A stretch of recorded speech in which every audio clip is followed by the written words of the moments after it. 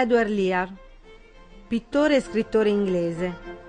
È stato un importante descrittore dell'Italia e dell'Abruzzo in particolare.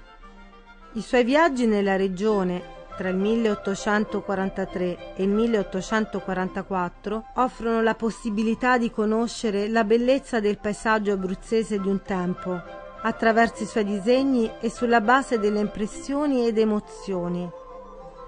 Un'opportunità per leggere il paesaggio anche in una prospettiva storica e di riflettere sulle profonde trasformazioni intervenute fino ad oggi.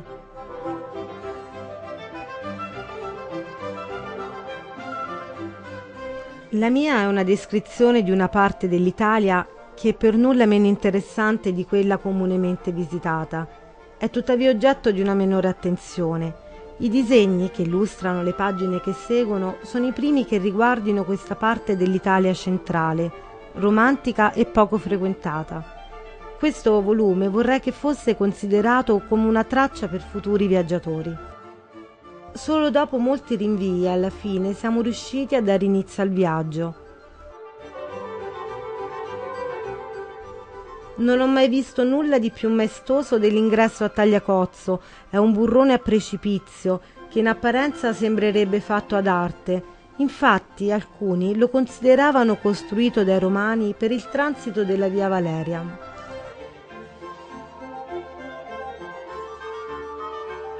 Pietrasecca è un paese sito su di una rupe gigantesca, la cui altezza a strapiombo è pittoresca e terribile.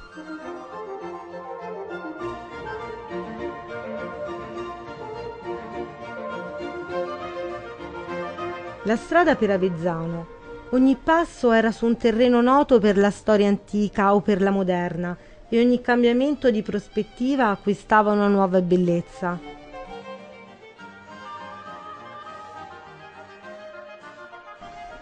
Quello che a Trasacco mi è piaciuto di vedere di più è una vecchia torre, in forma strana, quadrata alla base, rotonda nella parte superiore, la quale domina in lungo e in largo sul lago e ha in lontananza dietro di sé il velino.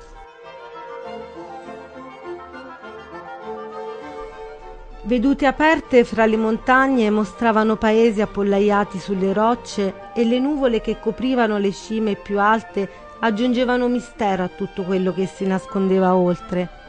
Celano ha 3.000 abitanti, una volta città fortificata e capitale della Marsica. Abbiamo raggiunto la sommità della collina, dove ci siamo trattenuti ad ammirare il panorama. Durante la notte, calma e lucente, era la distesa del lago, che sembrava d'argento, Sotto la finestra del palazzo al chiarore della luna piena, l'antico castello proiettava le sue lunghe ombre sulla città addormentata. Appena raggiunta la piazza del mercato dove ci siamo trattenuti ad ammirare il panorama, L'antico castello è ancora in buone condizioni, con il ponte levatoio ancora in funzione.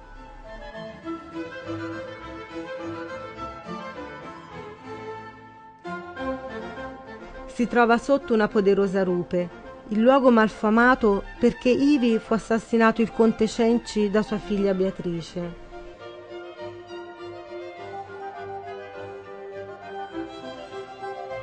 Ci siamo fermati presso la chiesa di Santa Maria di Luco, che si trova nel sito dell'antica Angizia. È un luogo primitivo e isolato, ha una grandiosità poetica e triste nel suo aspetto, come se si trovasse al di fuori del mondo vivente. Essa è circondata in ogni parte da una catena di montagne maestose, dall'aspetto indescrivibilmente severo e fosco, coperte nella loro sommità da densi boschi. Una serena bellezza infondeva un magico incanto su tutto. Il capraio suonava una piccola zampogna.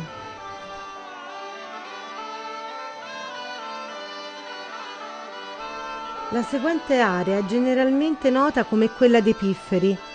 Essa è comunemente nota in tutti i paesi montagnosi dell'Abruzzo, dove l'ho imparata da molti pastori. Si dice che il motivo di quest'area sia molto antico.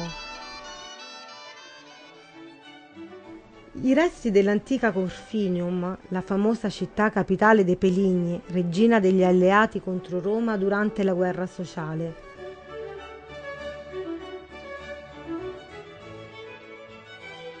Sulla sua sommità un vasto e nuovo panorama ci si è aperto davanti. Siamo usciti dalla terra dei Marzi e stavamo entrando in quella dei Peligni.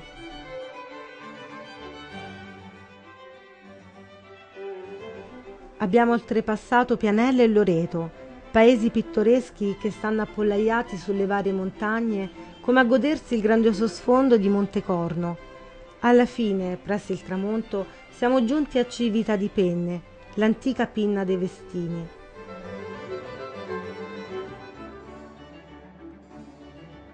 Pizzoferrato è un paese romantico, Niente va di più superbo che la sconfinata visione di catene di montagne violacee, punteggiate da pesini, le quali formano una distesa continua in giù verso le rive dell'Adriatico. Non si può entrare dentro le mura dell'Aquila senza avvertire un senso di interesse e di curiosità. Bei palazzi, malinconici e deserti, splendidi conventi e chiese, questo senso di malinconica grandezza si accompagnava alla catena di montagne aspre e disadorne che chiudono la vista in ogni lato. Questa vignetta rappresenta una delle molte case antiche dell'Aquila, notevole per la varietà delle loro finestre gotiche. La chiesa di Santa Maria di Colle Maggio è assai notevole sia per la bellezza dei suoi dettagli architettonici, sia per l'originale forma della sua facciata principale.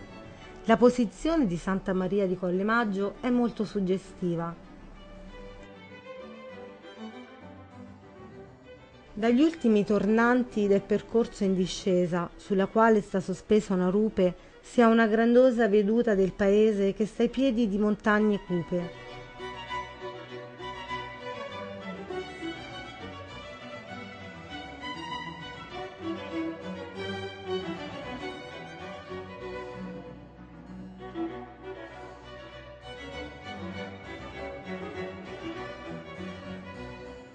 Impiegato una mattinata a disegnare, dalla piazza di Magliano, la veduta dei campi palentini verso le montagne dell'Iri, un panorama bello e memorabile per la battaglia combattuta tra Carlo I d'Angiò e Corradino. Questo luogo famoso, roccaforte di Siface, re di Numidia, ed altri regali prigionieri furono detenuti dai Romani è ora un malinconico paesino.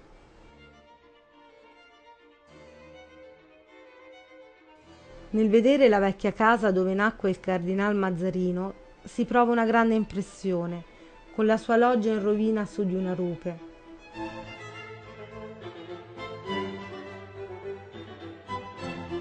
All'estremità superiore del lago, una fila di belle querce che toccavano l'acqua con i rami faceva ombra sul terreno roccioso che conduceva a una cappella solitaria.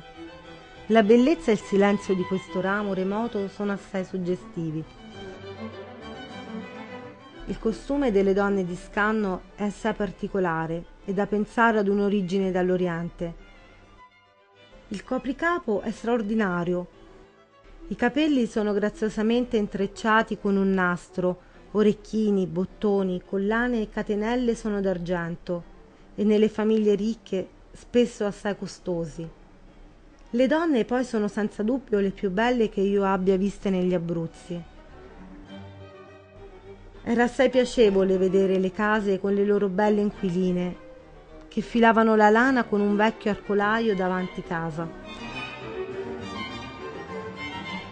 Ho disegnato molto presso l'entrata del passo la scena è così maestosa che occorrerebbe impiegare molto tempo per farlo a dovere. Faceva troppo freddo per disegnare, ma ho lavorato ugualmente per stendere un profilo di Castel di Sangro, che offre vedute splendide. Ero dispiaciuto di dover rinunciare a visitare le belle montagne della provincia di Molise, le cui montagne di un azzurro scuro si stendevano a sud. In una piccola valle popolata di querce, si affacciava umilmente il campanile della chiesa di Abbadessa, una delle antiche colonie greche fondata nell'Italia meridionale. Mentre salivo verso il paese, sono rimasto colpito da quello che apparentemente sembrava un gruppo di turchi, ma che in realtà erano donne di Abbadessa nel loro costume. Verso sera, per sentieri tortuosi attraverso boschi panoramici, abbiamo raggiunto Isola, che si trova su di una lingua di terra tra due fiumi che quasi la circondano. È un posto incantevole con il Gran Sasso in magnifico sfondo.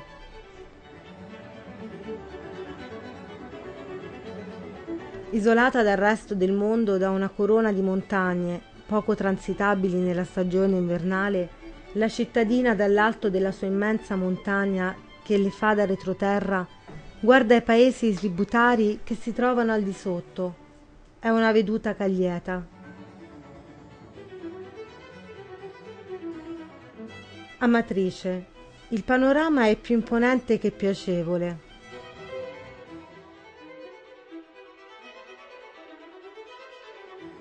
Sotto all'eremo solitario c'è il monastero di Santo Spirito di Sulmona, fondato da Papa Celestino V, ma ora ospizio per i poveri dei tre Abruzzi. È un edificio pittoresco. La valle o pianura di Sulmona è una bella località. Essa è quasi tutta coltivata a vite, grano, olivo e ortaggi.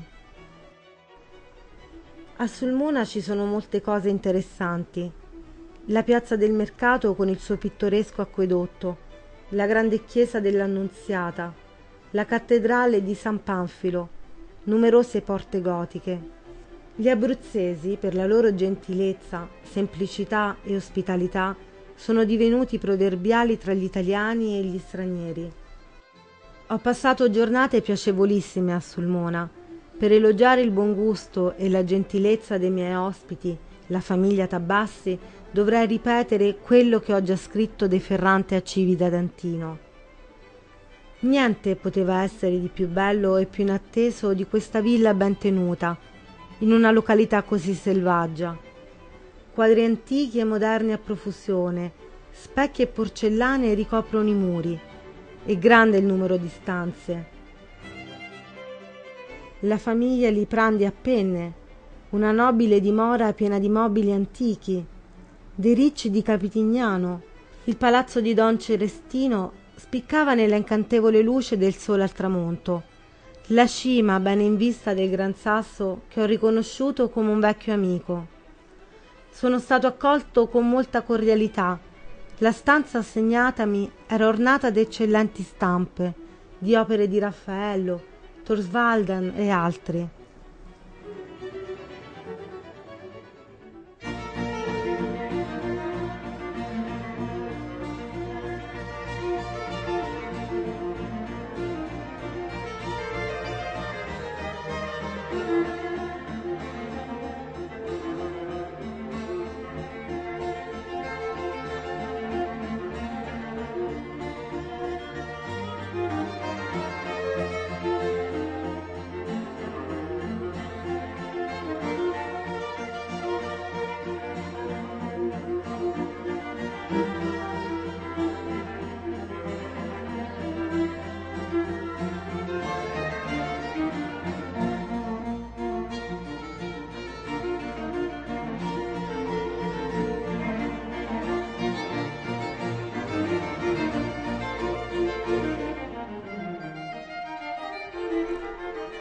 La storia del mio viaggio è così finita. La gradevole varietà di impressioni che tante nuove vedute hanno lasciato nella mia mente e le numerose persone veramente gentili ed ospitali con le quali ho fatto conoscenza saranno da me sempre ricordate con grande piacere. Se poi non dovessi mai più rivisitare questa parte dell'Italia, non cesserei, tuttavia, di riandare con la mente alle memorie del mio soggiorno nelle tre province abruzzesi.